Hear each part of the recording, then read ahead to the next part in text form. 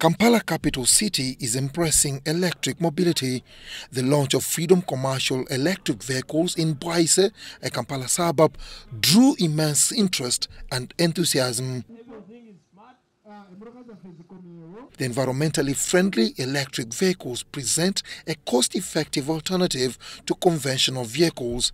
By reducing the number of vehicles using fuel in terms of, of uh, petrol and diesel to replace them with some which are using power.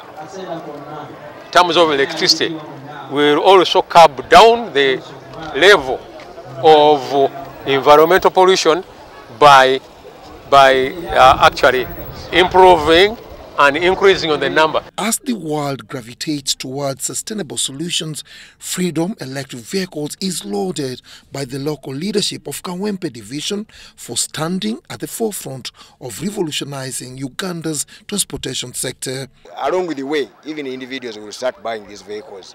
Now, when you look at the advantage, if the advantage being emphasized is uh, to go by, if the charging cost is going to be 40,000 and you are going to move about 250 kilometers or above, above that, that means to and fro you are, you are charging twice at 80,000 and you will have covered 500 kilometers.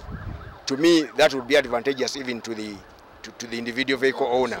The company commits to support Uganda's e-mobility and energy transition agenda, which is currently the focal point in environmental conservation globally. The car is so user-friendly, fully electric, uh, no sound uh, uh, pollution, and, and uh, no smoking in it, so it doesn't uh, pollute the environment as well. So it's uh, so affordable for the people to use. Carlson Investment has been contracted to develop a transit terminal in Bwaise where the fast charging station of the electric taxis will be set up before being rolled out to other terminals. Dennis Igoa and Juman Samba for UBC Business.